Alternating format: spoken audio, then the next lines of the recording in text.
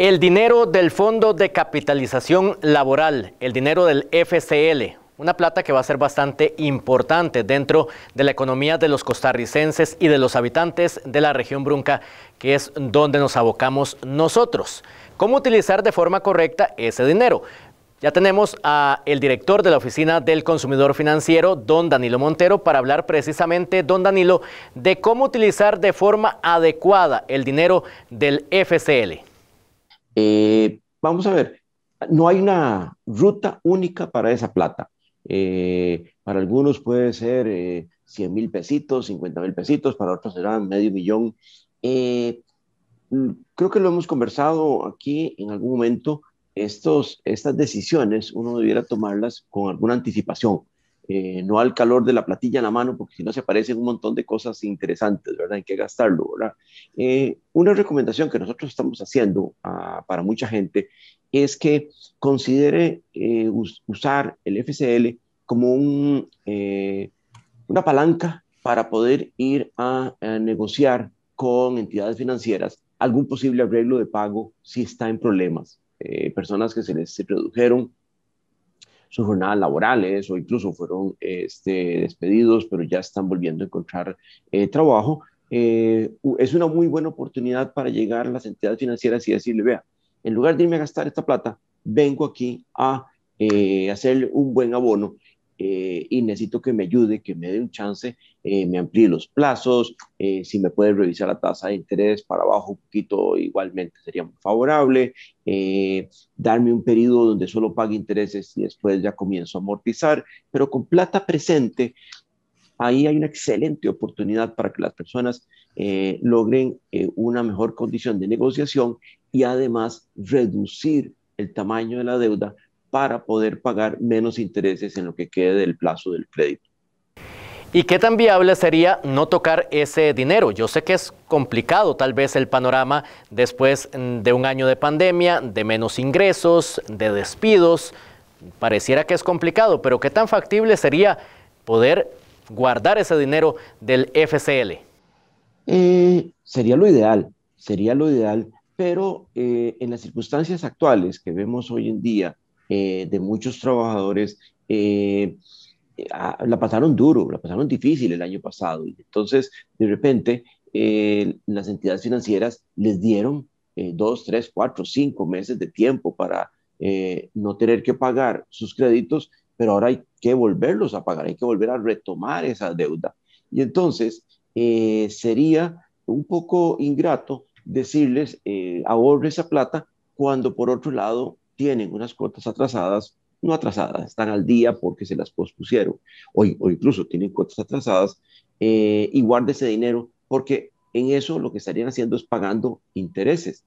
Entonces, si la persona no tiene deudas o está al día con sus deudas, definitivamente lo ideal sería por lo menos, por lo menos guardar la mitad del FCL, guardarla en un, depósito a plazo, en un bono, en algún instrumento, en una entidad financiera, eh, guardarlo, no gastarlo, porque todavía no hemos salido de la crisis sanitaria, la situación económica todavía está por verse, qué le va a pasar. Entonces hay demasiados nubarrones ahí en el horizonte como para salir en carrera y comprarse una pantalla plana. Eh, no, no nos parece inteligente en este momento. Hemos hablado de que este dinero cae muy bien para saldar deudas, pero tal vez hayan personas que no tienen deudas y más bien lo pueden utilizar para encaminar un proyecto. ¿Cómo lo ve la oficina desde ese panorama? Depende de cada persona. Es una interesante, muy interesante idea. Puede ser que de repente alguien, precisamente como consecuencia de la pandemia, descubrió hombre, que tenía una cuchara muy buena, ¿verdad? Y entonces unos queques o unas empanaditas eh, o algún tipo de eh, comida le quedaba muy bien, que lo iba haciendo en los ratos libres para complementar sus ingresos, y ahora que recibe el FCL, a lo mejor esa es la oportunidad para llevar un pasito más arriba ese, ese negocio. Sin duda alguna, esa es una excelente oportunidad. Eh, lo que no tendría sentido es salir en carrera a gastarlo en un celular o a gastarlo en una pantalla plana. Eh, y puede ser que esto no le agrade a las tiendas, pero nuestra obligación es orientar al consumidor financiero. Cuando vemos un panorama financiero un poquito eh, oscuro, un poquito complicado, eh, disparar esa plata habiendo algunas necesidades sin atender, nos parece un poquito, un poquito injusto no insistirle a los consumidores en en ese sentido.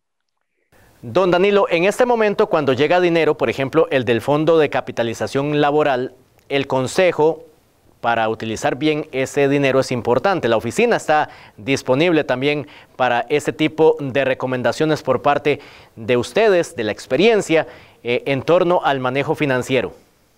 Eh, pues sí, en realidad no es, no es exactamente nuestra función, eh, porque para eso están un poco las entidades financieras, los puestos de bolsa, las sociedades de fondos de inversión, donde están especializadas en asesorar al cliente.